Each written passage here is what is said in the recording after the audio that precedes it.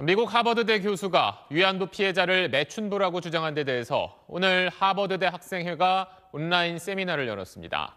아, 위안부 피해자인 이용수 할머니는 그 망언을 기회로 삼아서 국제사법재판소에서 문제를 해결하자고 했고 함께 참석한 전문가들도 일본 정부와 일부 학자들의 망언을 강하게 비판했습니다. 먼저 이현정 기자입니다.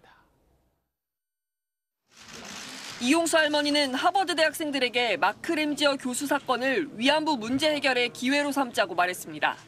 램지어 교수의 망언으로 위안부 문제에 다시 관심이 쏠리고 있다는 겁니다.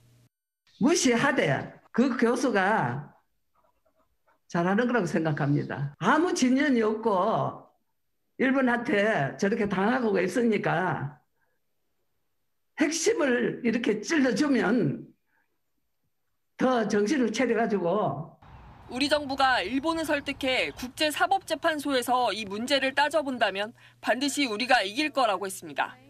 국제사법재판에 가서 완벽하게 따지자.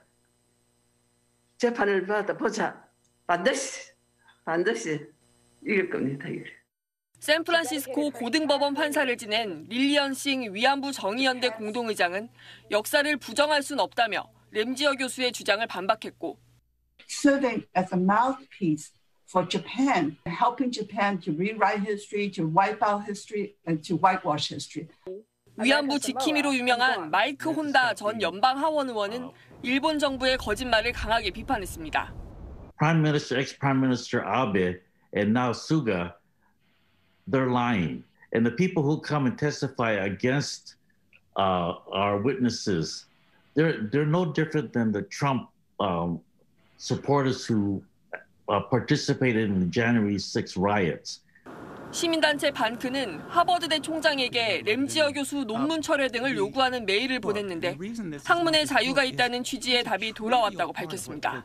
SBS 이현정입니다.